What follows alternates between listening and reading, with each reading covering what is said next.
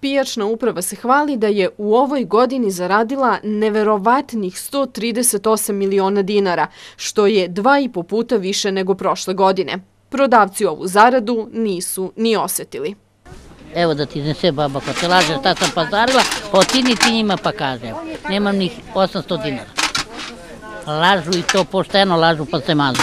Slobodno im kažu. Ma kak je izgubili dva puta više nego prošle godine.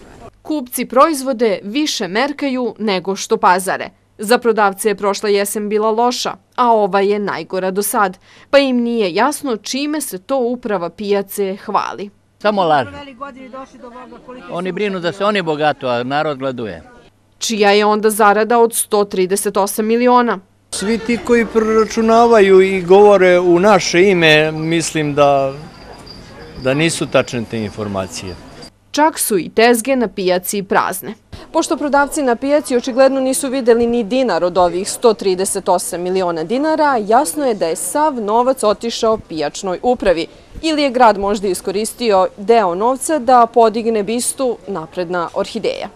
Ako je zarada od 138 miliona dinara tačna, uprava pijace trebalo bi da zahvali prodavcima, jer zakup tezge koji plaćaju svakog dana nije nimalo jeftin.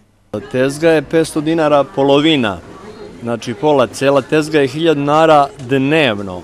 Poruka prodavaca pijaci je da sljedeći put razmisle čime će se hvaliti, jer dok ljudi iz uprave troše miliona u toplim kancelarijama, prodavci se na lošim tezgama bore za parče hleba. Jasmina Stakić, moja televizija.